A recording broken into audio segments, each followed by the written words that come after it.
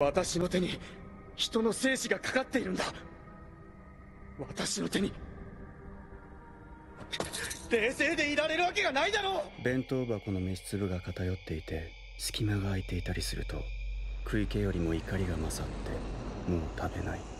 そっか。数字の3って横に倒してみるとお尻みたいだもんね。でこうしたら3焦らないで少しずつ。